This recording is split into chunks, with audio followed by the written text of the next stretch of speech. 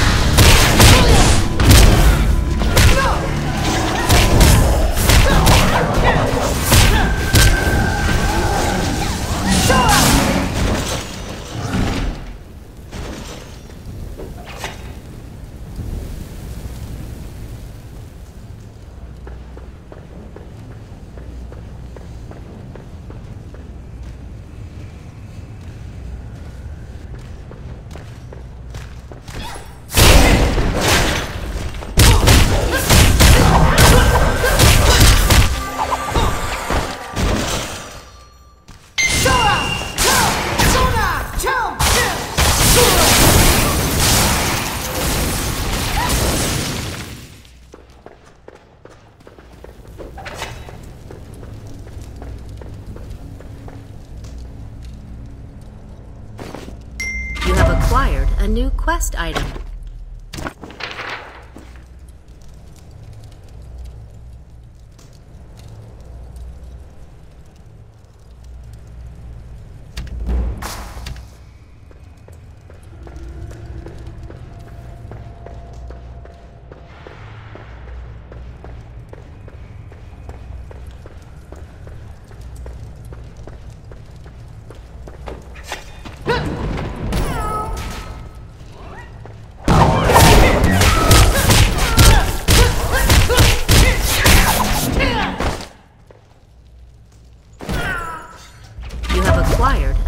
Quest item.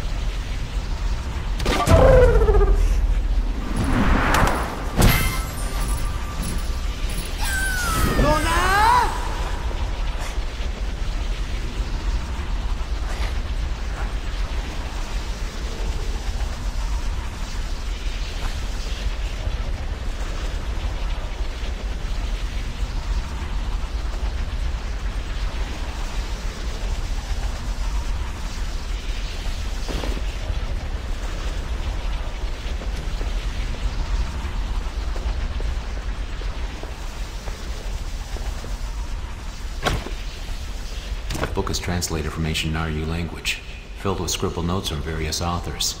It looks like it has passed through many hands over the years. It summarizes the Divine Mandate, a ritual used to vindicate the Emperor's divine right to rule. Prince Sogun must have been trying to use it to proclaim himself Emperor. The ritual requires soul stones, the blood of a divine being, a dimensional anchor, and some kind of human vessel. The ritual is supposed to call upon the heavens, channeling their will through the vessel to proclaim the rightful ruler. But without a dimensional anchor to focus the ritual, it could easily go awry. The book warns that the divine mandate is not to be used lightly. Without all the correct preparations, attempting to harness so much cosmic energy would surely lead to disaster.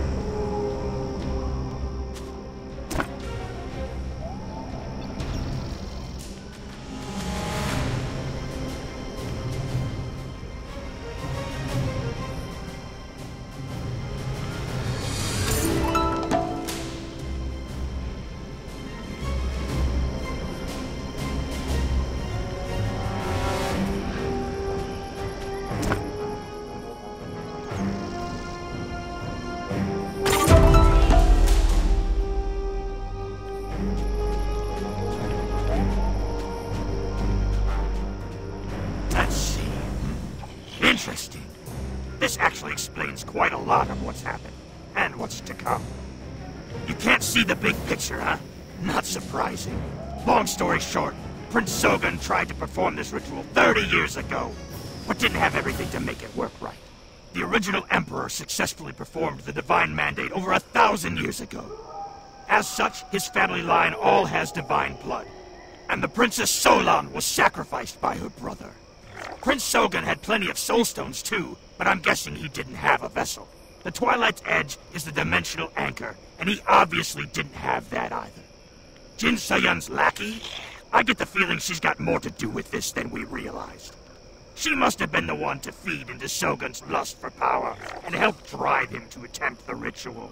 Without all the proper components to focus the ritual's power, the demons of the Dark Realm latched onto the connection and used it to open a Dark Gate, a path between this world and the Dark Realm. Normally, a vessel would be possessed by divine energy, but with the path linked to the Dark Realm instead, the vessel would become the host for the Dark Lord, which would essentially mean the end of the world. Too big of an oversight to be a mistake, if you ask me. Was Yura not trying to summon the Dark Lord? Somehow I think what happened in Highland Central was just part of some bigger scheme. I don't like this at all. Go find Ixanin and let him know what we've learned.